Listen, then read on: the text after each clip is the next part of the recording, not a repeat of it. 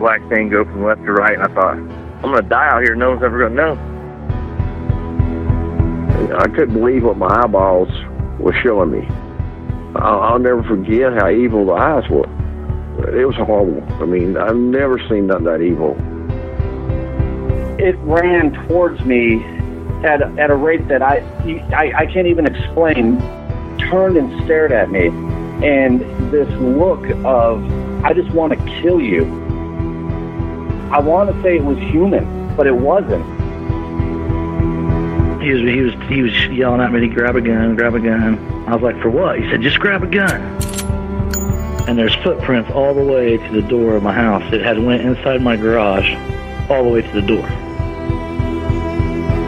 911, what are you reporting? Jesus Christ, you better. Sure. Zia, Hello? get somebody out here. What's going on now, sir? That son of a bitch is about six foot nine, I don't know. Do you see him now, sir? Yes, I'm looking right at him. Uh-oh. You're listening to Sasquatch Chronicles. Check us out online at SasquatchChronicles.com. If you've had an encounter, email me. My email address is wes at SasquatchChronicles.com.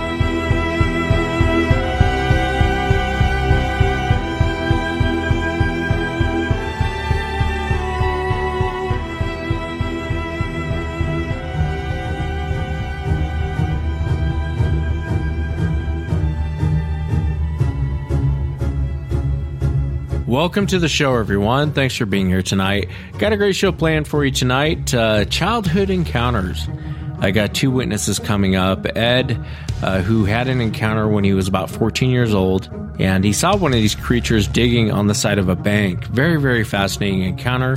And then I'll also be speaking to Jimmy, uh, who had uh, two encounters with these when he was a child, and uh, even it smashing the back door. You'll want to stay tuned for that. If you've had an encounter and you'd like to be on the show, shoot me an email. My email address is wes at sasquatchchronicles.com. And if you get a chance, to check out sasquatchchronicles.com. Uh, you can get merchandise, additional shows, there's a daily blog. Uh, please check it out if you get a chance. How's everyone doing tonight? Uh, gosh, I can't believe this weekend's almost over with. It's about a million degrees here in the Pacific Northwest. Well, it might be a million and one. Uh, it's hot though. It's it's real hot here, and I hope wherever you're listening to the show, you're in a nice, cool place uh, to get ready for some encounters tonight. Let's jump into it. I want to welcome uh, Jimmy to the show. Jimmy, thanks for coming on. Absolutely, Wes. Thanks for having me. No, I appreciate. it. I know you're on vacation. I appreciate you taking the time to come on. Uh, and you know, when you and I were talking the other night, I was just blown away by the encounter, the two encounters that you had. Uh, if you would, for the audience, maybe kind of start from the beginning. Where where did all this take place, Jimmy? What state? This this all took place in North Carolina. Um, I was probably I want to say maybe six, uh, seven. I couldn't have been any much older than that. I'm 44 now. Um, my it's kind of relevant to the story just a little bit, but um, my, mom wasn't the greatest mom. We moved around a lot, been to several schools in the same amount of year. You know, several schools and three or four schools in in a year. We just moved around a lot. She was just in a nutshell, she was just a horrible little abusive mother. Um, a lot of abuse going on and growing up as a kid. So, in, in, a, in a little bit later in the story, it kind of plays a, you know a part, and it's kind of relevant to the whole encounter. Yeah. Um, but it started out. Um, we had just moved from Illinois, and my stepfather, he's a Native American Indian, um, and he was married to my mom at the time. And we moved up to North Carolina, and they had a spot where they tore some trees down and put a trailer in. When they put the trailer in, um, the day we showed up, we got out of the car. Me and my brothers um, got out of the El Camino, and and my stepfather, Buddy, he uh, he literally looked at us and said, "Back in the trees, there's a hairy man. Stay out of the tree. Stay out of the woods." And you know, us never even hearing those two words in the same sentence, hairy and man, it, it we kind of it was more of a we didn't know what to think of it, and we kind of thought, yeah, whatever, and laughed. And you know, he had, you know, he kind of laughed back at us, like, well, I told you, kind of thing. Um, and we weren't really at this place that long. Um, I know that my, like I said, mom wasn't the best of the moms, and she would leave us for day, night, you know, all day, all night, sometimes a little longer. Um, and they left one day, and I want to say it was in the evening time. It was in the evening, and we were, it was me and my brothers. We were just, uh, once again, the story with the, with the trailer. The trailer didn't have any skirting on it. It wasn't even anchored to the ground yet. It had got put in, the plumbing and the, and the electric had all been hooked up um, just the day before we got there. Um, so it didn't even have a porch in the back. It just had a make way shift porch just to get into the front. Um, and so when we were out behind the back of the trailer play, and we heard this just god awful scream. Um, sounded like a woman getting kind of ripped apart is what it sounded like. It was just a big old bloody curdly scream and so it got our attention and we started walking back and since this was kind of a newly constructed area, they had, you know, to take down some trees and whatnot. So the trees close to the trailer weren't really all that thick. And as we were walking, we couldn't have been 25, 50 feet away from our trailer. Um, we weren't looking in the trees. We were just looking straight ahead. There was no reason to look in the trees. The sound of the scream got our attention. And as we were walking in, we were walking, and there was a big crack. And all of a sudden, the crack was in the tree, and we looked up, and the first branch that we've seen, there was, and best way to describe it is literally it looked like probably about a six, six and a half foot chimp. It, it it kind of reminded me of a chimp. Um, it wasn't super buff. It was black, hairy, and, and when we looked up, as we looked up, the way it was standing is if you can picture holding, standing next to a flagpole and grabbing it with your hand and then totally extending your arm from the flagpole so you're straight out, and then holding on to the flagpole and moving your feet all the way up against the flagpole so you're actually kind of leaning out, but your feet are up against the flagpole and your arms totally extended. This is how this thing was. And when it went to when it went to stand, the branch it was on, it broke. And it was I'm on, I want to say it was 12 to 15 feet up in the air. That was the first branch on the tree. When this thing fell, Wes, it it was all sand and whatnot, so there really wasn't as much of a you know a thud or anything that you would you would think or that would you would recognize. But when would recognize what stood out the most to us is when it landed, the legs barely even bent, like it was like for me it was like stepping off a curb. But this thing you know fell out of a tree, 15 feet, and it was almost like it was used to that. So it was mind-boggling to see that when it landed, it barely even bent its legs from the position that it was in. Me jumping out of a tree, fairly fit guy, I'm pretty sure I'd break a leg or I'd at least fall all the way to the ground. But this thing, it was almost like there was nothing there really to cause any resistance to it. When it landed, it just barely landed, is what it looked like.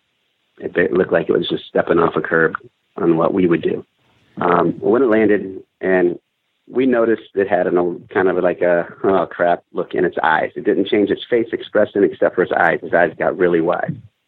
And us being kids, my brothers, um, like I said, I was six or seven, and my older my other brother was two years older than me, so he was either um, eight or nine, and my brother Bobby was two years older than him, so he was um, ten or eleven, you know, somewhere around in there. Well, we all took off running like a bat out of hell um, run into the trailer. The trailer's not that far away, like I said, maybe 50 feet. Um, that was the day that I realized if I wanted to survive in this family, that I needed to run faster than I did because my brother Bobby, my oldest brother Bobby, got to the back porch, and the back was just made out of cinder blocks. Like I said, it's just just trailer just got put there. They cinder blocks just so we could get up to it. He ran up and he he bailed on us, man. He he got up in the house, he shut the door and locked the door and just left us hanging. Um, and so me and my brother Galen, we were uh, right next to the porch was an old freezer chest, but it had a top like a plexiglass top, and the plexiglass top was very weathered and worn, so it wasn't see through. It was hazed over really bad. And the only thing we could think of was to jump in there, and and so we jumped in there, and lid came down, and um, you know we were kind of expecting to be lunch after that. We were terrified. I was very terrified. It was very um, traumatic for me. Had lots of lots of nightmares for year nightmares for years after this had happened. Um, to point back to when it had fell and we took off running, one time as we were running, we glanced back, and when we glanced back, it paused, but it never ran. It never picked up pace. It just walked a curious walk behind us.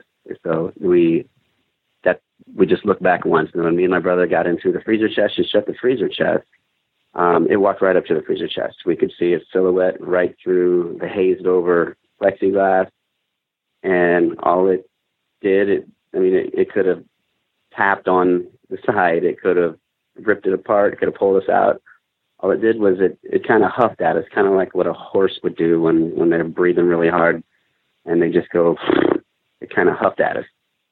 And at, at that point, I was ready to scream. My brother Galen kind of got control over me. Um, and it, it just walked away. We could hear it walk away, but it wasn't stomping. We just heard it walk away. And, and it was just too hot in that trailer. We, that, that, uh, freezer chest. We couldn't stay in there any longer. So we came out, reluctantly came out, and my brother Bobby let us in. And that was that was the first experience on on that night on of of this encounter with this creature, and it was like I said, it was it's very traumatizing. And I think um, I think when when I brought up um, having an abusive um, mother, um, a lot of things in my childhood, memories and stuff, um, just kind of suppressed. Um, you know, bad things get put away, put in a dark spot, kind of forget about or whatnot. Um, I knew after that day that I needed to be a faster runner because my brother Bobby smoked us, and he left us out there hanging. Um, so I became a lot faster. I became a lot faster runner after that.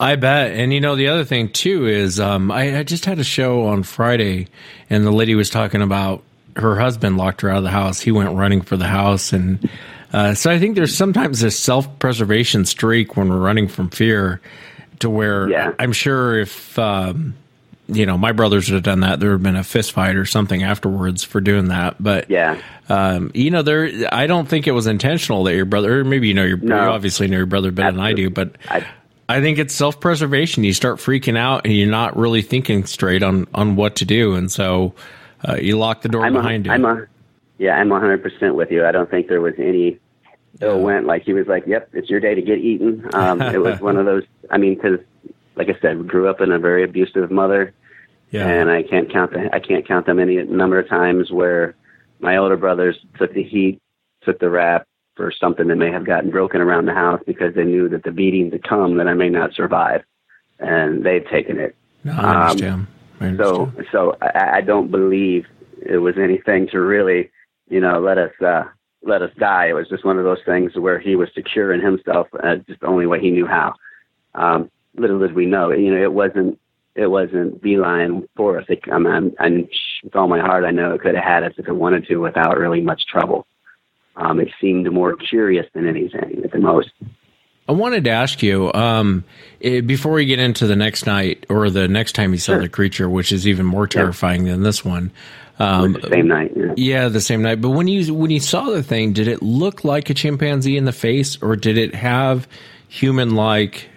Um, you know what I'm trying to say? Not expressions, yeah, but yeah, what features. kind of features and Yeah. Yeah, I, it, from the from the glance that we had, Wes, the the closest thing I can tell you, man, is literally what because we've seen Planet of the Apes as a kid, you know, the original one before all these other ones came out, and and and to me, that's what that's what it looked like as, as a kid. It it looked like one of the one of the monkeys from Planet of the Apes in the face. There wasn't much there wasn't much hair on the around the eyes and the and the and the lips, but the lips did stick out. They they they were bubbled out. If that makes any sense, um, kind of like a chimp. The, the lips stick out. I, I remember that it it had darker hair, thicker hair, and um, I, like I said, we we only saw it for maybe, gosh, if you put it all together, maybe four or five seconds. By the time we saw it up in the tree, from the time it landed, from the time we took off, and then turned back, just glanced back to see if we were being chased, and then turned around even in more fear. Um, it maybe five seconds total. Um, it couldn't have been any more than that. But but I can I can promise you that that was enough to to give me nightmares and think Oh, about it for many years afterwards. I bet. Yeah, and I think anyone rational would feel the same way. You know, I mean, my God, seeing this thing and, and just being a bunch of kids out there, you know, uh, and, and being terrified by this thing. God, I can't even imagine. You know, what's interesting is I listened to that, Jimmy, and I was thinking uh, it must have been a juvenile or something because it doesn't sound like King Kong. I mean, you, you mentioned no. this thing was what, six and a half feet tall or something? Maybe it, it it looked. You know, my stepfather wasn't very big. He wasn't a very big guy. I'm actually, I'm five eight, and I think he might have been five right now I'm five eight, but you know, child I was younger. I mean, he, my my, I think my stepfather was like five seven, and this thing, you know, like I said, it was never fully standing up straight, but it might have looked six and a half feet maybe at the most, um, at the very most, you know, and that's me judging as a six or seven year old, you know, the height. Yeah. Um, it wasn't it wasn't gin- it wasn't ginormous like the second one. It wasn't not even close. It was it was night and day. Well, so tell us what happened. So you you guys obviously get out of the freezer at this point, and you go and you talk Yeah. to. You guys are all talking. Is there any sort of conversation as far as what the hell was that thing?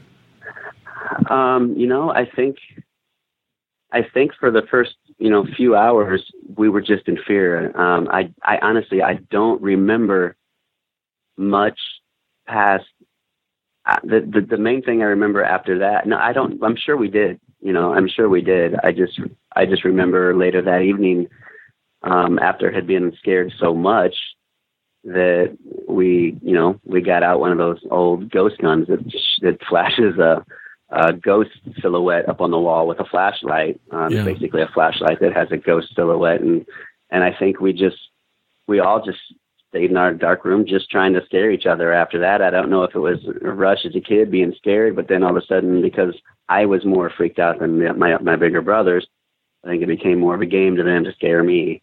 And so, you know, and and and, and the one thing, the what the one relevant thing I wanted to bring up was uh, um, the hairy man, the, the the phrase hairy man. I I had never heard it prior to that.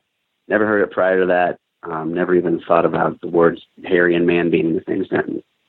Um, and then I never heard it after that. And so, um, I don't mean to name drop, but um, my son, I had told my son, my youngest, my second the youngest, he's nine. I told him, you know, I was telling him about, you know, what had happened to us when I was a kid. And so he became infatuated with finding Bigfoot. And, you know, we were, we watched and watched and watched all the episodes, all the seasons. And then one episode they were watching, they were doing a, talking about the Uwharrie National Forest, which is in North Carolina. And they, they literally, um, Moneymaker said, you know, the Native Americans around this part, they call him the hairy man. And, and, and when he said hairy man, it was Wes, the floodgates opened up. The, all these memories that were just long locked away just flooded out. And I, I was just blown away about, about how much I was able to remember how, how it just like it basically unlocked the door. It was, it was, it was nuts. And, um, you know, and a lot of people aren't fans of, uh, finding Bigfoot. I, I was a fan of finding Bigfoot. And so it started getting redundant. And, um, but they did, you know, they did kind of thrust the, the subject out there and, uh, in the mainstream a little bit. And, you know, we got to give them props for that at least. Um, no, absolutely. I but- agree with you 100%. It kind of brought it to uh, the public's attention. And however you feel about finding Bigfoot's kind of, um, you know, it doesn't really matter, but it's, it, Yeah. it's, it is, it brought it to, it brought the subject to the public's eye. And that's very important. And, and that's cool. Yeah. That's cool that they did it.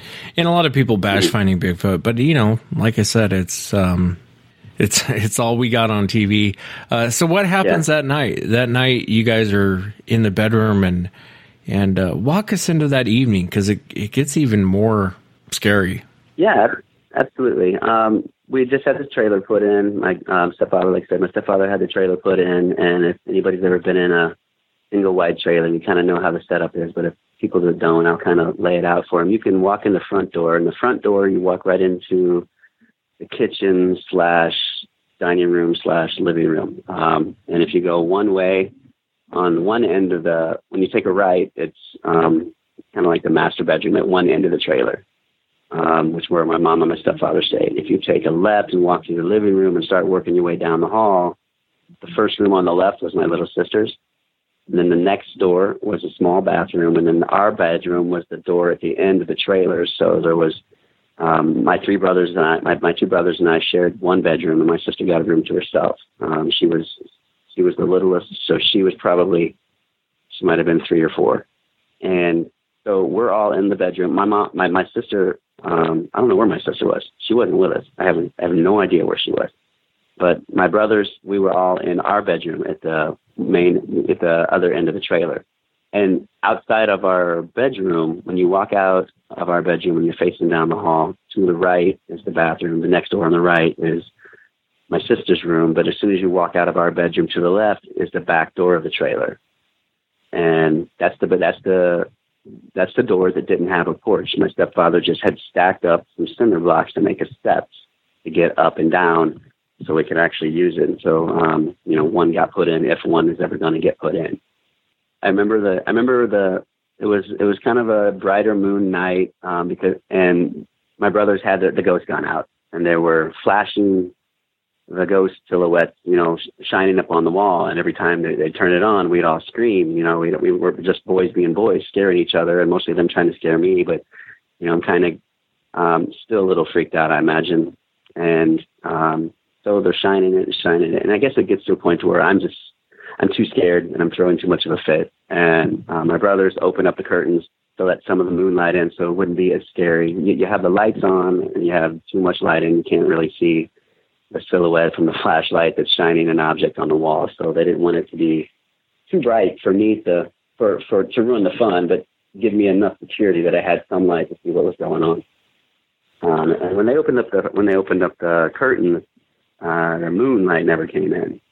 Um, it was like there was never even a moon out there. And then my brother was shining the thing, and he he went across the window. And keep in mind, people that haven't been in a trailer, trailers to get up in a trailer, you got to take three, four, five steps. So it's probably three and a half feet up off the ground just just to be floor level what we're standing on or what would be on outside. And so when he shined that ghost gun across the window there, um, man, it went it went right across the face, right across the eyes of um, a Bigfoot. There's there's there's not there's nothing else it could have been. There's there's zero anything else it could have been. The, the shoulders were the shoulder width of it was bigger than our window on the trailer. So we never got to actually see how wide it was, but I know that it was at least four foot wide. Its head was never fully exposed, so its head was still higher than our window, and which explains why we couldn't see any moonlight. The, the damn thing took up the whole window, and when they shined the light across it, um, and it went across its eyes, it did the same eye expression is the one that fell out of the tree. Its eyes got really, really big, and it kind of moved its lip. And when when it hit its eyes, I was on the left side of our bed, and when we when I seen it, I jumped over our bed. I don't think I touched our bed. I landed on the other side, but by the time I had landed on the other side, Wes, that thing was standing in front of the window had went around the side of the trailer to our back door and I don't know if it had a cinder block in its hand or if it was if they're just just that quick, but it grabbed one of those cinder blocks and it threw it through our back door. So when it threw it through the back, the back door was locked, but there was such a gaping bust in the door um, that I could stick my whole entire leg out the door. That's how much force that it used when it threw that cinder block into the back door, and and and that was that. We it never made a sound. Um, it never peeped. The, you know, there were, we didn't hear anything, but we were terrified. Um, and we were extra terrified because now we had to look my mother in the face and explain to her how this door is tore up. And we just knew the repercussions to come for that were not going to be fun. It, it, that's what happened. It, was this this one looked completely different than the one we've seen, but it may be because as they get into adulthood and get older, their facial structures may change somewhat. I do. I, I don't have an answer for that. Um, but it looked like uh, just a classic drawing of a you know a big brown Bigfoot, a big brown Sasquatch. You know, anyone. I think you've had sketches on. It had it. Um, I do remember seeing white of the eyes. I know some people say that it's all black. Um, I do remember seeing whites of the eyes. I don't remember the color of its pupils. I don't remember any eye shine, which is troubling after hearing a lot of uh, stories where people see eye shine, eye shine, eye shine. We had a flashlight directly in his eyes, and I don't remember any eye shine.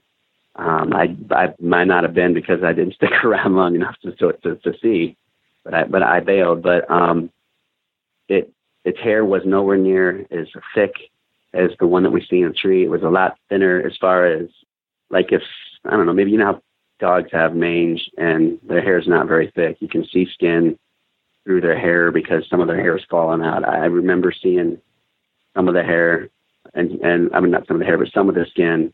It was huge. It was there's there's there's no there's nothing else it could have been, and and that that's what happened. And then when my uh, mother and stepdad got home, you know, we had to face the music and tell them what happened. And my mom wasn't buying it, and she kind of went into a rage. And then, but you know, we brought it that you know but he said it was the hairy man. It was the hairy man. It was here, the hairy man. And I, you know, I kind of remember them getting into pretty much just about a knockdown drag out in the kitchen, uh, and about you know what had gone on. And then my uh, stepfather kept trying to tell us all that it was uh, was our nephew or our cousin in a monkey suit. Um, you know, but none none of that makes sense. No best athlete in the world is not going to fall out of a tree 15 feet and land and barely even bend their knees once they land um, from the position that they hit the ground. Yeah, and you would have um, known even at that point if it was someone playing a prank on you in a monkey suit. You know what I mean? Well, it's it's well, easier. If, if my nephew, I was just going to say my nephew was only, or my cousin, he was only, um, was Buddy's nephew, so I guess it'd be my cousin. Um, if he was only maybe a year older than me, and like I said, I was six or seven, and there's no I'm 44 you now. I work out regularly. I'm pretty good shape, and those damn cinder blocks are still heavy to me. There, there's no way a six, seven, eight year old is going to pick it up. And if they do pick it up, they're not going to be able to throw it. And if they do throw it, they're not going to have the force to do what the damage did to this door. And so my thought, my thinking is, you know, this was all just a thing to calm everything down, to get the fear to go away. This really wasn't what he said it was. It was really his nephew, and uh, um, and uh, you know a monkey suit, and you know it, it, none of it added up. And then maybe if we were in my mom's bedroom on the other end, where the actual hitch for the trailers for trailers getting pulled, they have a hitch, you know, and it's it's on one end. Maybe if it was on that end, and there was a couple people trying to pull a prank with a giant costume, but we were on the opposite end where there's no hitch, there's nothing there to get up on to make yourself look giant. There was nothing there when when when this when this all happened, um, it that night, um, we I remember everybody frantically packing all our clothes, throwing them in garbage bags, throwing them back to the El Camino, and we left that night. Never came back. And the explanation the whole time growing up was it was just my cousin in a monkey suit. I know better. Well, I know if, better. if it was um, if it was just a kid in a monkey suit, why pack up and leave? and that's that's the other thing. If it was our nephew, why not go beat his ass and and and, and straighten things out? Not not just tuck tail and run. If it was my nephew, you know, why not have him come over and apologize? Or my cousin. Um, if if you know, it, it, it I believe it was all just uh, to try to smooth things over, to not terrify us anymore, to keep us calmed down but I think I was beyond that point. And when we moved back to Illinois to another trailer court, this uh, this trailer court had a cornfield behind it, and there was just a small tree line that was just all it was was just a divider of property. The tree line was maybe three trees deep. But for months and months and months, every night I would go out and stare out our back door, staring at this tree line, looking for something to come out of this tree line. It was, um, you know, uh, it, it's it's it's beyond baffling how much fear and and even telling the stories today you know when i tell people i i'm physically not scared to tell it but i'm my body's trembling now if that makes any sense. Um, it makes complete like literally my my legs my arms my body's trembling just telling the story. Yeah. and it, there's there's no rhyme or reason for it um other than it you know that was some real stuff that happened that day and and i, I never heard of bigfoot prior to that when we moved back to Illinois into the other trailer and I started the school that I started, I, I came across a book in the library, um, and this was, you know, 36 years ago or so. And it was basically about legends of, you know, Bigfoot or Sasquatch and, um, oh, the uh, Loch Ness Monster. You know, it was one of those kind of books.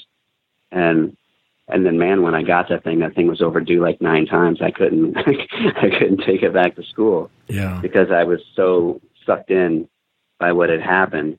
And then when you know like i said years go by and years go by and you get older other things come along. And then you know when finding bigfoot had that episode and he said that he, he said he said the words honey a hairy man.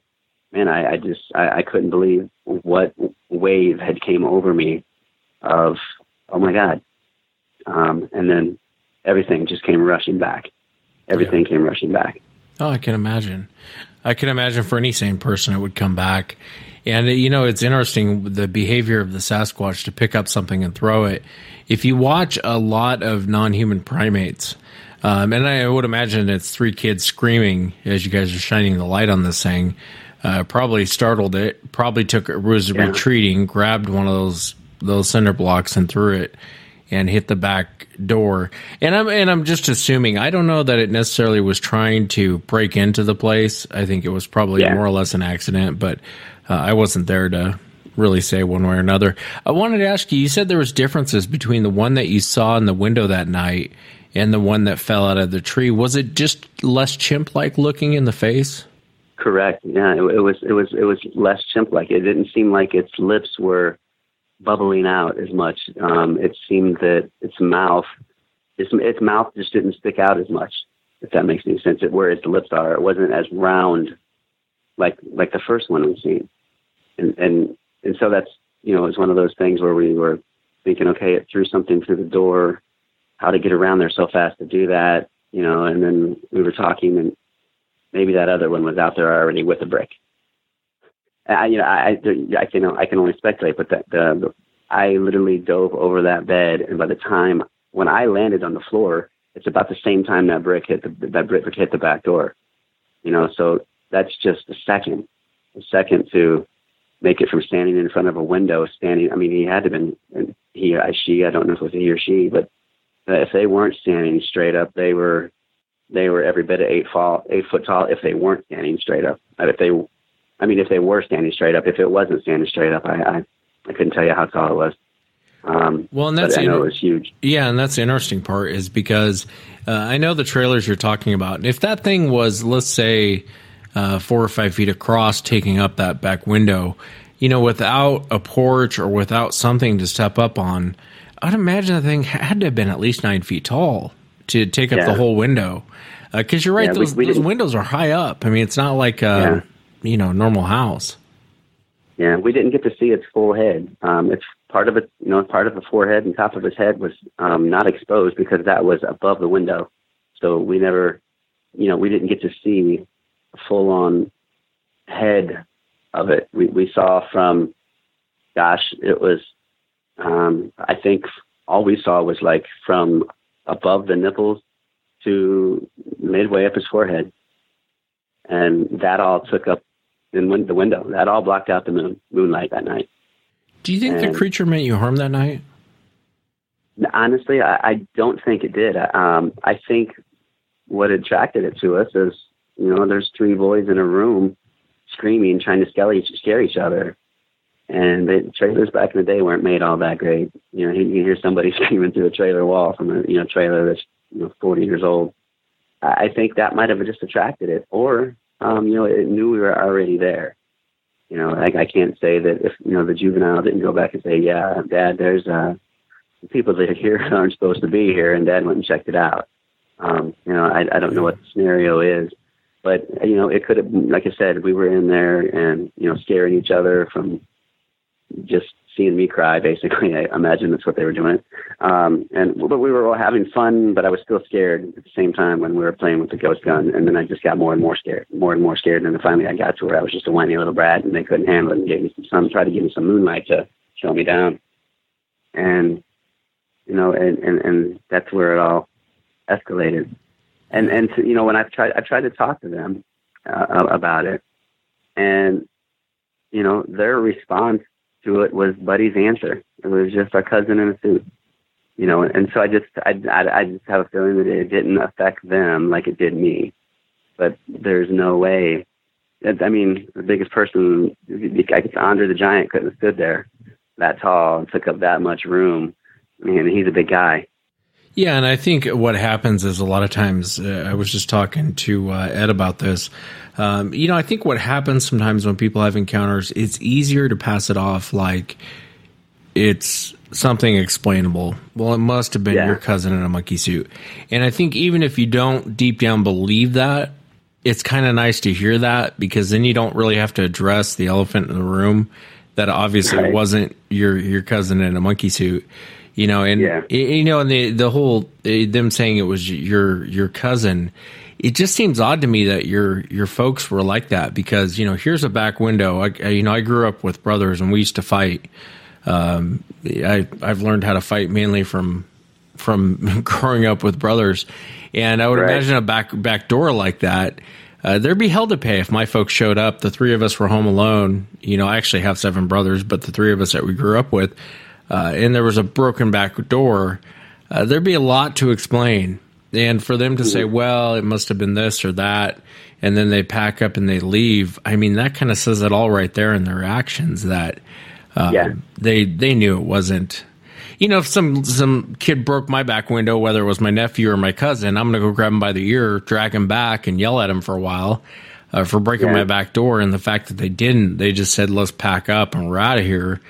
Uh, kind of says a lot. And did you have you ever talked to your mom since then? Have you ever sat her down and said, "Hey, listen, mom, let me tell Uh, you." no, No, no. Um, just because that relationship has been no, I understand. it was it was such a bad relationship that you know I I tried involving myself um, in my my my my birth mother's life, and it was more of a hey, how are you?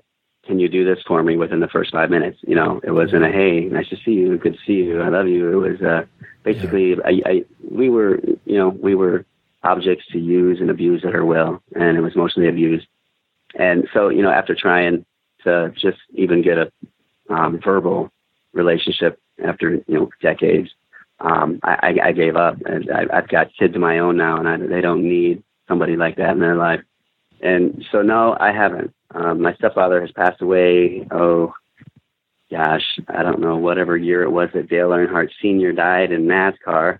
Was the year he passed away because my mother was so distraught when he died. Dale Earnhardt died that she couldn't talk to anybody because her husband was a Dale Earnhardt fan.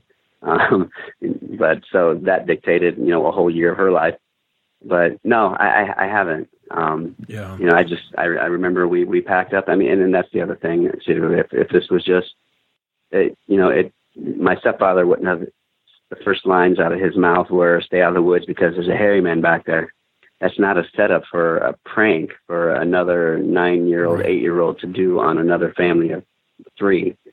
Um, you know, three other three other boys. It's it's you know, and and the way he said it was no- so nonchalant, like you know, we know they're back there, but we don't go back there because we know they're back there, kind of way. Yeah, no, I understand. I understand. It's too bad it's like that with your mother. Um, you know, this encounter, it's an interesting encounter because you guys, it carried on until that evening. And uh, obviously Yeah. there was more than one in the area. And I would imagine that Right. would change your outlook as far as going out in the woods and just being out in the woods. I know when you moved to that new place, you were talking about you're constantly, you know, fixated on the, the pack of woods behind your house. But I'd imagine that even sticks with you as an adult, you know, having something like this happen. Yeah, it's as as a kid it did. Um, I've always liked the woods. I still like the woods. Um, I, I never even as I got older, I never like I said I, the memories were I, so suppressed and locked away because it was just kind of a horrible childhood that it was locked away with you know the fear of the woods and whatnot was locked away with the incident that happened. Um, so I wasn't I was you know never really afraid of the woods. Still not afraid of the woods. Um, I like the woods. I'm much older now. I don't really live in any woods, you know, but, I sure would like to go back there. I mean, I, you know, the subject, it does consume you when you've had an encounter. You know, I don't know the, the classes of Class A, Class B. I've heard them, but I've not really paid much attention to what they mean and what they are. But when you have an encounter where you're literally, it's on the other side of the wall. They're they're both three to five feet away from you um, and the only thing blocking you is a freezer chest lid and a window and a wall of a trailer. You know, um, it's it's it's kind of hard to put that in words, but it doesn't. It no, there there hasn't been any fear. Um, and uh, you know, I had mentioned to you before. I'm a kind of a I'm a, I'm a different breed when it comes to fear. Um, there's not too many. It's going to sound stupid. There's not too many things that scare me, or that I I fear. I mean, the main thing I fear, and I'm sure it's all parents, is something happening to my wife and my children. I, you know, that's my main fear. Yeah. I can't stand spiders. That, that's stupid too. They're creepy little bastards, and there's no place for them. I'm with you. And and um, I'm I'm I'm a, I'm a different kind of person. It, it takes a lot. To, and I'm I had mentioned, you know, if I was to go out to an expedition and with people and they're wanting to videotape, you know, uh, Sasquatch, and they're just out of the wood line and they're acting like they're challenging you. I'm that guy that goes, okay, let's do this. you know, I'm the guy that says, yeah, takes my shirt off and does some challenging stuff back just to get the shot, just to get the video, just to get the evidence. Um, and, but again, you know, when, when we when we had mentioned and talked about the fear and and whatnot, you know, I'm still sitting here. I'm not. I'm not. I don't scare easy, but I'm not scared telling the story. But I'm trembling right now. I'm that guy that's pretty much fearless, but I'm trembling telling you the story.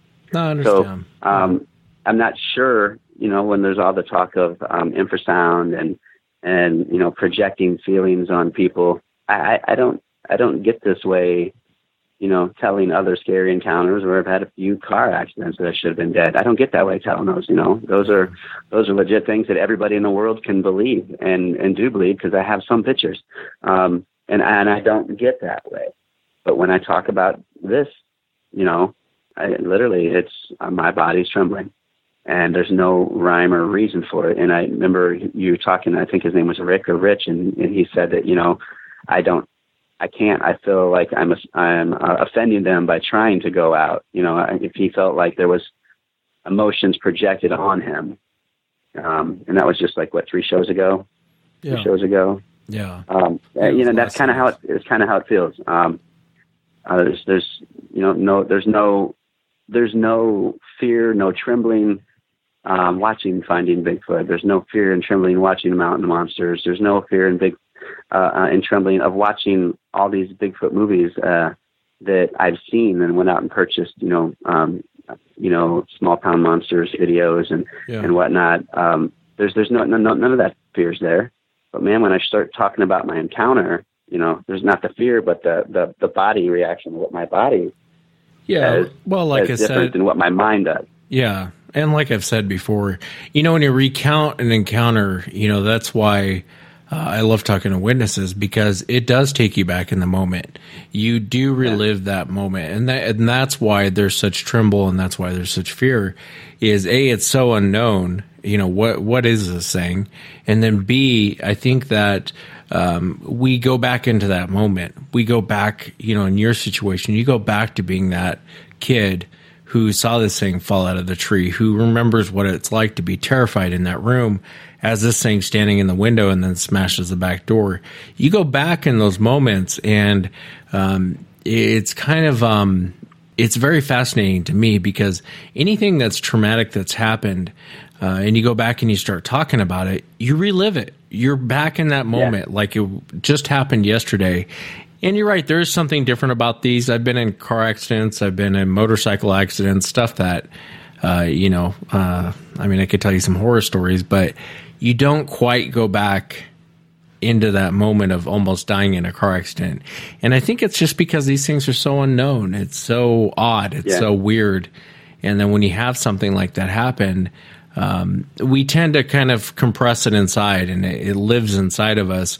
And it comes out in other ways, whether it's nightmares or whether it's drinking or whether it eventually comes out. It's, it's our inner demons and going back in that moment of time where that shouldn't have happened. That thing falling out of the tree doesn't exist. It shouldn't have happened. And then coming up to that, Yeah. the trailer, that shouldn't have happened because they don't exist, right? Well, Right. they do exist and you do run into Yeah. them. And so it kind of freaks us out. But, um, you know, I'm really glad that you came on the show, Jimmy. I, I enjoyed reading the email. I enjoyed hearing the encounter story, and you hear a lot of the the um, behaviors that we always talk about on the show. Those are the best Yeah. ways to learn about the behaviors from these things is from eyewitnesses. So. Uh, Yeah. I, I can't thank you enough for coming on and, and sharing it, man. I know you're on vacation too. Thank you for taking the Oh time. yeah, no, yeah, I, yeah, I, I, I appreciate it. Um, I um, came across your your your your podcast um, while I was, you know, looking at other podcasts, and they were just, you know, not to put anybody else down. I don't, not here to do that, but they they weren't even close to yours, Wes. Um, I, I heard one episode, and then I started binge listening to um, all your episodes, and then it started to irritate me because I couldn't get access to the ones that I wasn't a member of. So I became a member so I could get access to those. It, it really is an addictive um, show, and and more importantly for people that's had encounters, you know, whether it's a sight encounter, whether it's you think one's there, you hear one. Um, your show, man, is therapy. It it really is therapy that you can't get anywhere else. Um, I, I wanted to thank you for that. I know you get that a lot, but it, it really is because uh, subject, if you have an encounter, it can consume you. It, it has hasn't consumed me to where it's all I think about. Um, it it does consume my free time of when I can multitask. I'm listening to your iPod and uh, I, I, you know, your your podcast. I appreciate that. I I'm going to be going July 8th. Um, I live in Georgia now, and in July 8th in North Georgia, there's a Bigfoot museum called Expedition Bigfoot. It's owned by a guy named Dave, and it's it's fantastic. It's a 4,000 square foot um, facility, and he's ever expanding all the time. He's got artifacts from the Yeti expedition. He's uh, he's got hundreds of casts, um, hand casts, butt casts, feet casts. You know, um, he's got all the movies and books, all kinds of information. And July 8th, they're going to have a town hall, and he's invited me to be a speaker there for um, you know uh, um, telling my encounter, and and that's in up in North Georgia. Gosh, I can't think. I can't remember if it's Cherry Log or if it's Blue Blue Ridge. Um, I think it's Cherry Log. It might be Cherry Log. Um, but yeah, Expedition Bigfoot's a fantastic, fantastic place, and um, it just opened about a year ago, just over a year ago, and that's where I'm going to go with. It. But I wanted to, you know, I wanted to leave you with. I appreciate what you do. I, I couldn't have got the kind of therapy. Basically, it's therapy. I mean, I, you might say it's not, but it is for for people with encounters. And these other podcasts, they weren't they they they weren't fulfilling. They they they offered nothing but more of an irritating ir- irritant than anything. Um, you're, you're legit, and I, I appreciate you for that. Thanks, brother. I appreciate the kind words. That's really nice of you. You bet.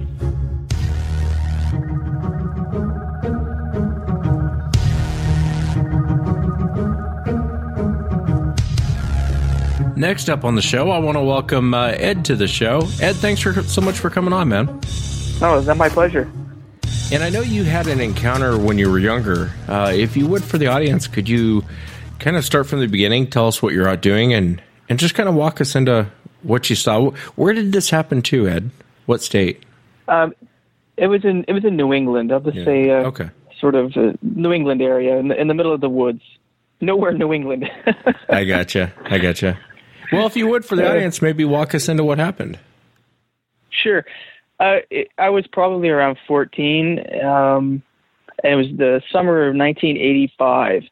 And we had this very hot stretch of weather. And um, football season was coming up, and I wanted to get into shape. So I, I was doing some jogging. Uh, and I was usually going in the evenings as the sun was starting to kind of go down and it cooled off because it was just too hot to do anything during the day.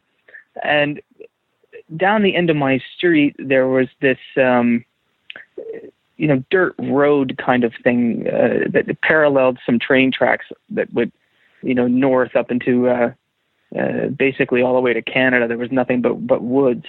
And this dirt road was really not used by vehicles. It was more bikes and joggers. Uh three wheelers would would have been not uncommon to see uh, on the trail. So I, I was running along this trail um, through this wooded area, and probably about three quarters of a mile into the trail, it kind of rises up and passes through this marshy bog area, and it, the area kind of looks like uh, some lowlands that flooded and it never actually really drained. So there are some trees sticking up out of the water, some fallen trees, uh, sort of a real boggy, marshy area. And as you approach that area, you kind of come around this bend. So I was coming around the bend in the trail, and off to my right, there's nothing but woods uh, for probably ever. And then on my left, um, there's an, a low-lying area with the marsh, a hill going up, Um, and then beyond that is an area where there's some houses and uh, schools and, and a little bit more of a populated area, which is probably from that point maybe a half a mile or so away from where I was. It's fairly close. So I come around this bend in the trail, and I was became aware of some movement off to my left, and it's an area of the woods uh, where it, you know I spent a lot of time on this trail as a kid, and uh, there were you know deer. You would see deer, bear were not uncommon, uh, and everybody knew what to do if you ran into a bear. Uh, so it wasn't a fearful thing, but it was something to always be you know keep an eye out for. And so I came around the corner and I, I got aware of some movement off to my left, and I stopped um, because I, you know, my first thought was, oh, you know, it's a bear, and I kind of stepped out. There was a, a tree blocking my view of what was moving around in the water, so I took kind of a, a quiet step out further into the trail um, to get a look around the, the tree, and um, in the water was something and my first thought was well that's not a bear. And the thing that clicked in my head about that was the size of this. It was it was just enormous. And the next thought that clicked in my head because of the size was oh it's a moose.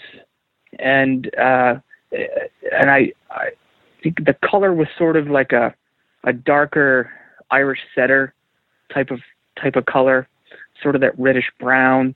Um and then I realized, and the way that it was moving, that uh, and the the shagginess of it, that it, it wasn't a moose. And what I saw was in the water, back to me. I was looking at the back of this animal. It was bent over and digging into the bank of the marsh, and the arms were in front of it and kind of coming out around the both sides as it's digging with both hands uh, in in the mud, and the dirt was kind of flinging out behind it. And as the arms came backwards, uh, I could see that uh, underneath the arm, uh, down along kind of the torso, was this uh, kind of shaggy hair hanging off of it that was, again, I use the Irish setter example, was very much like the underbelly of an Irish setter. It sort of hung down like that. And I could see um, hands. Uh, it, it was just huge. And my next thought was, you know, that's not a moose. And I turned around and I buggered out of there so fast. Um, I ran at full tilt all the way down the end of this trail, um, maybe about three quarter of a mile to to where the road was. And the, as I'm as I'm running away, I'm you know terrified, thinking, "Oh, this thing's coming after me," and you know, this thought in my head, "Oh my God, that was a Bigfoot," and I'm running down the trail, and I, I, I get to the end of the trail, and I I ran so hard I actually threw up. Um, I started to vomit when I got to the end of the trail, and then it wasn't very much further from the end of the trail to my house. So I ran to my house, I ran inside, ran up to my bedroom, shut the door, and immediately started watching out my window, which overlooked the direction I had just run from uh, as I was waiting for this thing to be coming up the street after me. And uh, uh, the whole encounter probably took, oh, I don't know, maybe 10 seconds or so. I mean, just enough time for me to understand there was movement to my left, to step out, think, oh, that's not a bear, it's a moose, then to realize the behavior that I was seeing and the kind of general look of it and think, that's not a moose. And to see the hands and the arms coming backwards and just – and I just turned and, and bolted out of there. I don't blame you. I would have too. Uh, what was the creature doing? Was it digging? It looked like it was digging, and it was back to me, bent over. So I couldn't. I, I can't give you an estimate of the height, and I, I don't know how deep that water actually was. I, I never went down in there, um, but I could see uh, the back of legs, kind of uh, a, a buttocks, and, and a bent over torso. I don't know the height, but I'll tell you the width of this thing um, from side to side. I mean, it was just it was huge. I mean, to to the point where I I said it's in my, in my mind quickly. Oh, it's way too big to be a bear. It has to be a moose because of the size. I mean, that that's that's where my head went immediately because of the size and and it was it looked like it was it was digging because I saw the arms disappear in front of it and kind of swing back maybe two or three times in the amount of time I watched it um, flinging mud and dirt behind it, like like it was burrowing into the ground, and um, and that's all I saw. And then I just I just left. At any point, did the creature notice you? No, not at all. And uh, that I'm aware of, he may have heard, he or she, whatever it was, may have heard me as I I, I, I tore out of there, um, but certainly didn't realize I had come around the corner. And in in there, you know, it's a, a heavily wooded area, and the bend is quite sharp, so it, it might not have heard me kind of coming up the trail, um, and maybe making noise in the water itself didn't really hear me coming. Uh, and and the distance, I don't know if I said it was probably about 20 yards. So it's fairly close. Oh, really when I, close. When, I, turned Yeah. that corner. Yeah. And did you tell anyone about this, Ed, after your encounter? Did you ever go back and say anything to anyone? No, ab- absolutely not. Um, until very recently, and, and in, it, as I was telling you, we talked before. When I came home, uh, my mother was in the kitchen, and I I tore right by her. I never told my mother, my father, uh, my siblings. Uh, I never told told anybody about it ever, and I and I don't know why. I it, it- you know, it's the type of thing I've with the relationship I had with my parents. I, it wouldn't have been an issue. Um, they they would have been completely supportive and believed me, and it, wasn't wasn't anything like that. I just I I don't know why I never told anybody, and it wasn't until very recently in the last year or so that I've I felt uh, kind of compelled to start talking about it. Yeah, it's kind of one of those things, and you know, you not telling your parents. That's not as, as you and I were saying the other night. That's not as uncommon as people think. A lot of times, people don't tell anyone for many years. I've talked to people who have had encounters, and 30 years ago, never told a soul, and now they're starting to talk about it. So it affects people in different ways. Uh, did it change your mind? I mean, did you ever go back? Did it change your mind as far as going out in the woods, and did you ever go back to that spot? Yeah, that's a good question. You know, I went back the next day, and I went back on my bike, and because I felt like I could go faster on my bike if I needed to get out of there, be, because it, I just I, I couldn't process it inside my head. Um, I grew up in the woods, and there I've seen every living creature out there that I thought existed, and to have something be so outside of anything I'd ever experienced before. Um, was a hard thing to get my head around. So I went down the next day, and and so the way I kind of played it around in my head was that oh, you know, it was just a bear, and what I really saw was you know one of the fallen tree trunks, and that made it look bigger than it was, and I, I probably just imagined the whole thing, and so I went back down the next day on my bike to see just sort of what it looked like, and could, could I have mistaken it for one of the tree trunks or something like this, and so I, when I went to look at the area there were no trees in the general area where where I actually saw this thing, other than the tree that blocked my view, and I stepped out from behind. Um, and you know, it hit me that what I saw was was real, and what I had seen uh, or observed was, in my mind, accurate. And what I had seen was something extraordinary in terms of what's normal for that that area. And I, I started to panic and I, I hyperventilated um, and I jumped on my bike and uh, I just got out of there. And I have I have never been back down to that spot since. Um, and that's you know from 1985. Never been back down there. That is very common for us as humans. I did it myself. You have that reaction of, God, was I dreaming? Did I dream that? Did that really happen? And I think everyone who's actually seen one of these things goes through that at some point. Uh, you question yourself, God, did I really see that? Am I am I going? Am I losing my sanity? Uh, and, Yeah, and, and, you yeah, know, there was a lot of that. yeah, and and I think that's very Yeah. common. You know, with a lot of people I talk to, you know, it's that seems to be the number one thing people will say after an encounter is, I, I didn't really believe it. I had to go back, or I had to convince myself. You know, a lot of times people will say, "Well, it was just a bear. It was just a bear. It was just a bear," and then. Yeah. The more and more they try and sell themselves on it, they know that that's just simply not true. No, I, was gonna say, I mean that, that that's exactly what I did. Uh, you know, for many years, I, I, I and I, you know, my background with Bigfoot to this point in my at, in, up to 1985, my life was really, uh, you know, the Six Million Dollar Man episode and the uh, um, In Search of uh, with Leonard Nimoy. I mean, that was it. That's all I really knew. I'd seen the uh, you know, the odd clip about Bigfoot, but it wasn't something that was um, uh, something I was interested in. You know, I wasn't you know obsessed with Bigfoot like I, I kind of am now. You know, so I, I that's what I did. I, I walked away from it, the, the, the experience, and just think, uh, yeah, okay, it was a bear. It was a bear, and I spent you know my life up until recently saying, ah, you know, it was just a bear because it, it's it's this cognitive dissonance of of the unsettledness of what you saw being so far beyond what you can explain or understand. Uh, it, it's a it's a tough thing to deal with. And I certainly spent a great deal of time trying to convince myself that I'd seen a bear. Yeah, and you hear that a lot with people. You know, and I'm really glad you came on the show. People in the East Coast, uh, especially the Northeast, I've found uh, it's really hard to get them to come on the show and talk about it. You know, the the main thing I hear a lot from people in the Northeast is I thought this was a Pacific Northwest problem. Uh, I didn't realize that we had them here.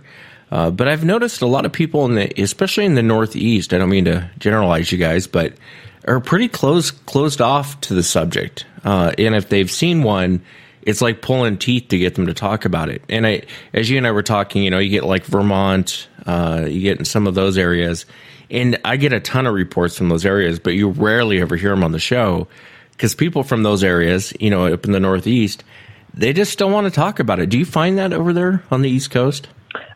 Oh yeah, absolutely. And and when when I started to kind of accept what I saw, um, I, I started. I, I told some very close friends of mine. One of the individuals I, I talked to about it, or two of the individuals I talked to about it, still live in that area um, and frequent the woods. Uh, you know, it's what they do. And so I said, "Do you guys know of any other stories? Is anybody else uh, you know, you guys spend your life in the in the woods. Do you do you hear anything about this? And because one of the things I wanted is, you know, that my experience, uh, from what I know, looking at, you know, the BFRO website, looking at sightings in my general area, there really aren't any. And so I, I felt like I was an N of one, and it was a very kind of lonely thing. If I knew of one or two other people who had seen something in the general area, um, you know would have been comforting and they they both kind of asked around so what they come the the old timers that they work with and everyone kind of scoffed and and one of my friends said to me you know even if one of these old guys had seen a, a sasquatch out here nobody would talk about it. Nobody would say a word about it.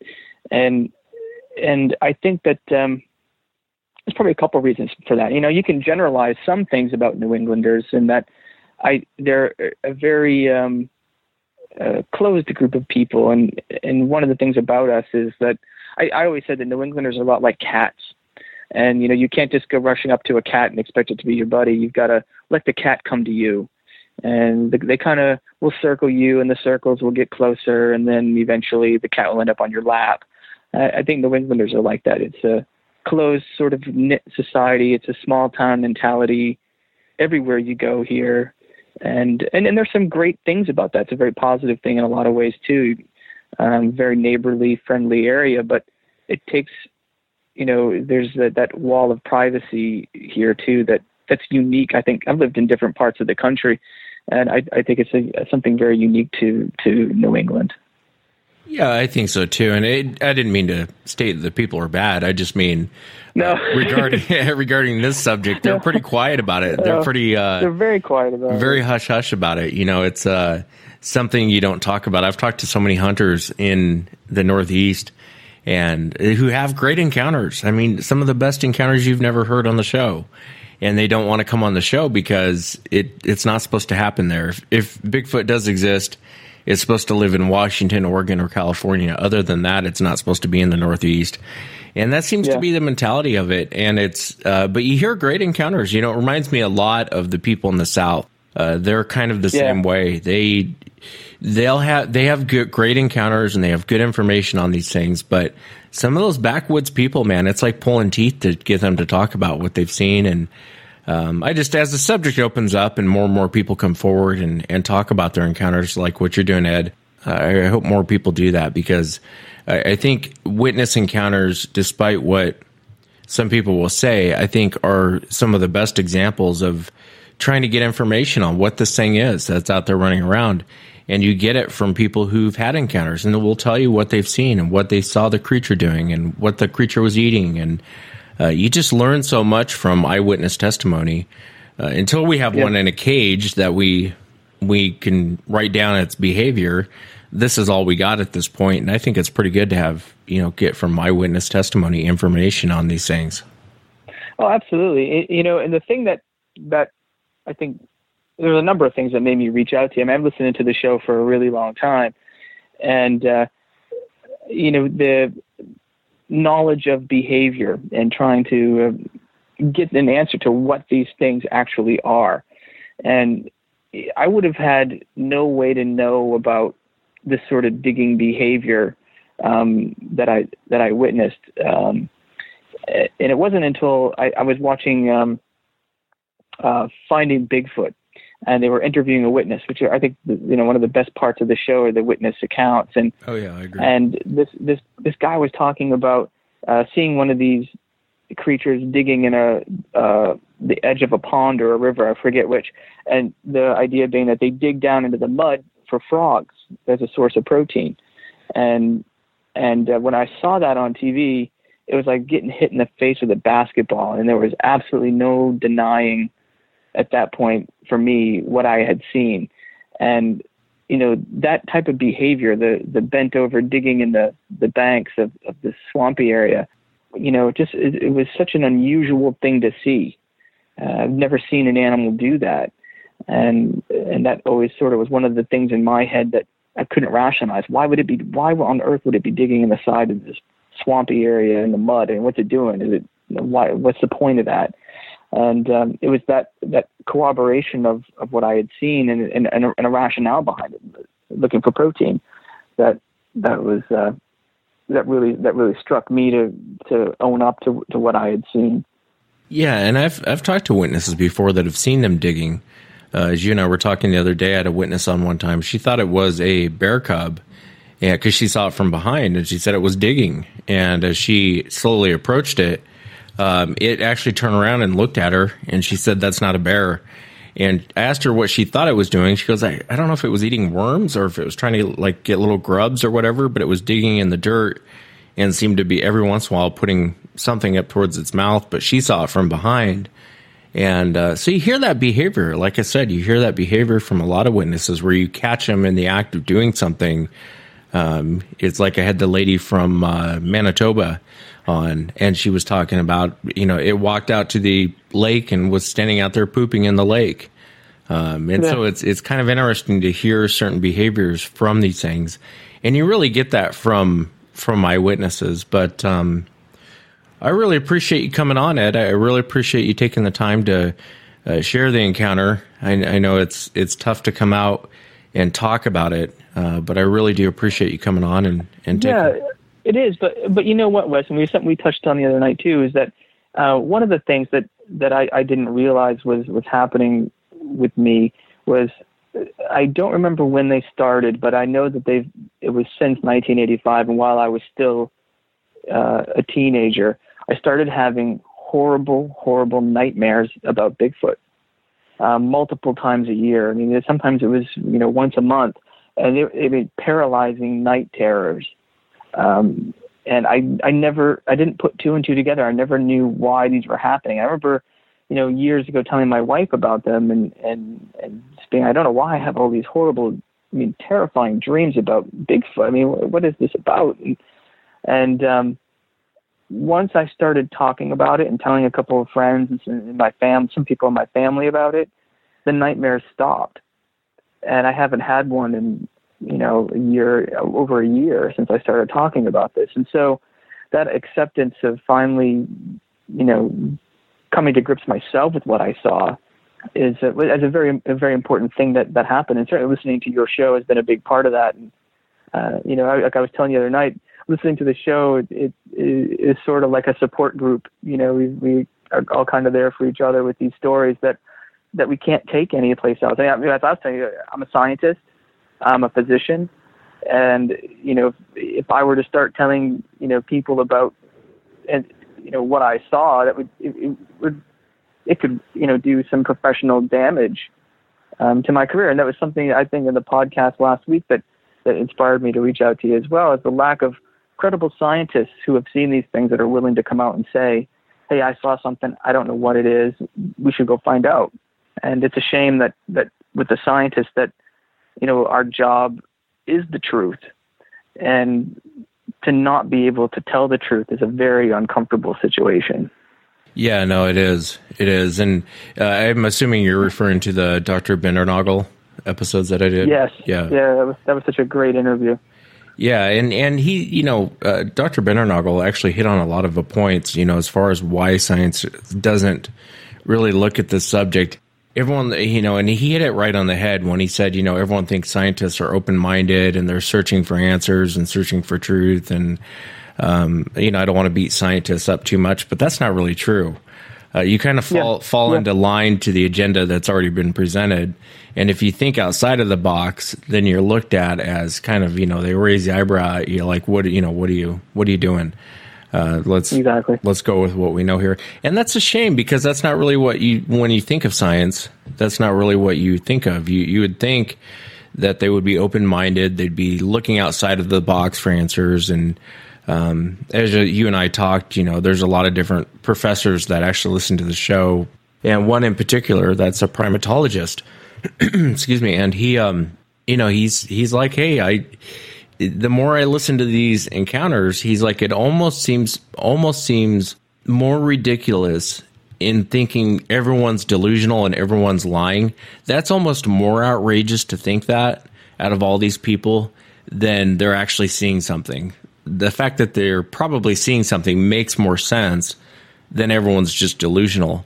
And I really wish more scientists would look at it, you know, look at it at that point, you know, not saying you don't have to believe in Bigfoot, but, you know, just take a look at it, you know, and there's nothing wrong with discussing it and looking at it. And I just wish more would do that.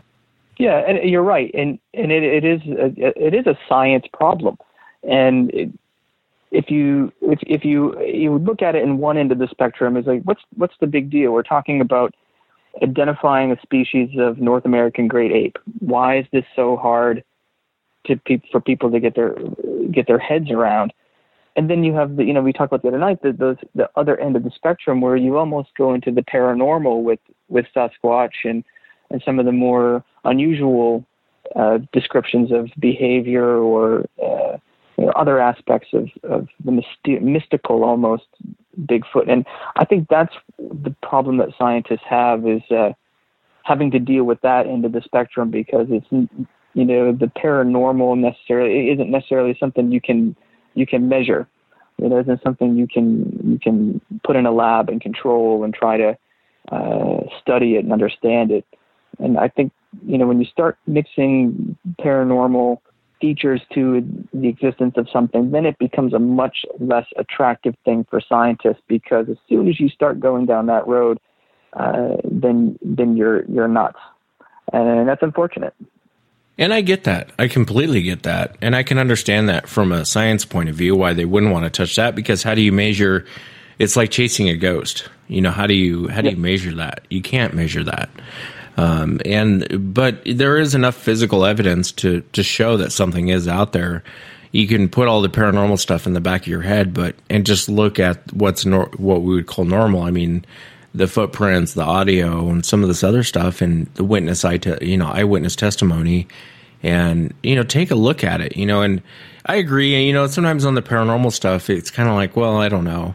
Um, but after a while, when you start hearing stuff over and over and over and over again from different credible people, you're not really sure what to make of it. But you know, I, I really and I and I can appreciate why scientists wouldn't want to get involved in that. It's like why scientists aren't involved in um, you know ghost hunting. Uh, I I would imagine it wouldn't be that hard to prove to someone demons are real uh, if you really wanted to to show them. Uh, but the problem is, is you can't measure it. You can't put it in a lab. You can't write down this. You can't write down that. It's more of just of an experience. And Yeah. I don't know why I'm going off on that tangent, but it no, just but, gets but, but that's important.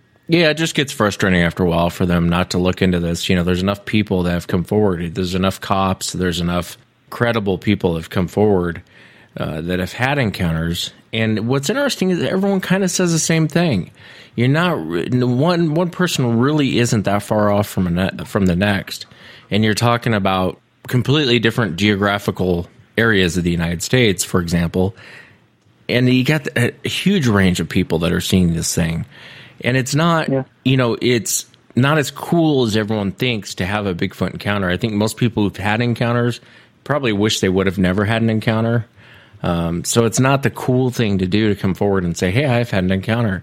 Uh, it takes a lot of balls to come forward and say, "Hey, I saw this thing. I don't know what it was." You know. Yeah, you're right, and you know, and that, and you did. I think you hit on another really important point, uh, where a lot of people wish they had never seen this thing, and you know, if you'd have asked me a year or so ago, you know, I wish I'd never seen this thing. I wish I'd never had gone jogging that night. I wish I'd never, uh, never seen this, and um, but now it's different. Now that I, I feel okay about what I saw and, and and able to talk about it a little bit. I think um I wish I'd stayed there a little longer. you know, you know, I'll never see one again. Um I'd love to see one again because I really want to know what these things are. And you know, that that's the scientific curiosity that now I've, you know, the idea of well, I have to, I have to understand what I've seen scientifically because that's how I operate. Um, I, w- I wish I, I wish I could see it again and go back in time and stand there and, and see what would happen if it noticed me. See if I, you know, go down the next day and actually look for tracks. I didn't do that because I, I didn't even think about looking for tracks. It never even crossed my mind. I would, and then by the time it hit me what I had seen, I, I just wanted to get out of there. I started to panic and I, I had to, you know, is the thing still here? They're going to lunge out of the woods and I, I just got out of there but you know today I probably would respond a little bit differently, particularly now that I've been able to process it um, in a way that I think is is, is healthy. Well, and it's it's uh, that is the question, isn't it? What is this thing? You know, I talk about shooting yeah. this thing all the time, and, and people get so upset. I mean, you wouldn't believe some of the crazy emails I get uh, and yeah. me- messages I get um, with people who are so irate over that. I'm not saying shoot it for my benefit. I'm saying shoot it for the public's benefit, for science's benefit, for the being, for this creature's benefit. It's not so much that it needs to be proven in my eyes because I've seen it. I know they exist. It's I want to prove it for I want the general public to know it's out there. But that is the question. What is this thing? Uh, for me, it's not so much trying to prove it. It's what is this thing? And I wish I had the answer to that. Well, I think that uh, you're you're right. You know, I mean, I, I don't hunt. I never I've never hunted uh, seriously because I, I and when we where I grew up, deer would come right up to your house, and if you wanted to hunt, you could sit in your back porch, and they would eat out of the garden. They would you know they were always there, and they're just be- such beautiful animals. And I, I just I never hunted. I never wanted to shoot anything, kill anything. It was, it was never because of that close proximity to the animals, I, I always felt, you know, some sort of, uh, uh, you know, fondness for them. They were just so beautiful, and I never wanted to kill anything. And I understand why people hunt, and I, I think it's an important part of culture. And I have friends that hunt. I never would cr- criticize it in any way. Um, but killing a Bigfoot, um, you know, not for sport, is is you know is how we species type and you know, you go to animal collections all around the country and different natural history museums, and they are the species type identifier uh, everywhere, from birds to small mammals, and that's how you identify a species. And if you can identify the species, um, you can better understand it, see where it falls in line with the evolutionary scale of, of primates, and uh, and then if you need to, um, protect the species you know your your argument for having a, a body is is not unreasonable for science and it isn't you know a sport of killing bigfoot it isn't to take a a, a corpse around and uh, to like a, a circus uh, at a peep show um, yeah. it's about trying to protect the species and understand what it is and uh, I you know I think that you know you never condone the killing of anything or anyone but when you're when you're trying to identify a species, you you have to uh, you have to be able to, to study it. I, I don't think that's unreasonable. Yeah, I don't think it's unreasonable either. And you know, a lot of these Bigfooters they cry uh, about that. You know, as far as people talking about killing one, but it it has to be done. It's just the way it is. You you want to talk science in one hand, but then you think it's wrong to collect the specimens in the other hand, and it, it doesn't make sense. Your your arguments are way off. Either either it is or it isn't. If you're for science and you're for science looking into this, then you have to be for collecting a specimen. Um, otherwise, what are we doing here? Why, why are we bothered looking into this? Um, whether you know we want to prove it. That's the reason why we look into it, and hopefully more and more people will come forward with their encounters and and take the time to come forward with their encounters like you have, Ed, and share it because we get so much information off of that. Until we have a, a specimen, a collect, spe- you know, until we collect a specimen, uh, all we can go off of right now is the the evidence we have with footprints and audio and stuff people are collecting, and witness eye testimony is a piece of that. So I really appreciate you coming on, man. I really enjoyed talking with you. Oh no, thank you so much. I really appreciate. it. I appreciate the podcast. Like I said, it's been a great uh, a great resource for me to kind of process uh, what I what I went through, and uh, I think that's true of a lot of people who listen and never reach out to you, and certainly true of the people who do reach out to you. I, I hope you get more people from New England willing to talk about it now. I, I think uh, I'd love to know what's really going on up here in this part of the world because I, I, you know, the Appalachian Trail coming right through here. I mean, there's a uh, super highway of forest, and um, I'd love to know. No, I'd like to too. Thank you so much, Ed, again for coming on. I really appreciate it, man. Oh, you're very welcome. Thank you for the time, and uh, again, I really appreciate all your work, Wes. And that's it for tonight, everyone. Remember, if you've had an encounter, shoot me an email. My email address is wes at sasquatchchronicles.com. If you get a chance, please visit sasquatchchronicles.com. Until next time, everyone.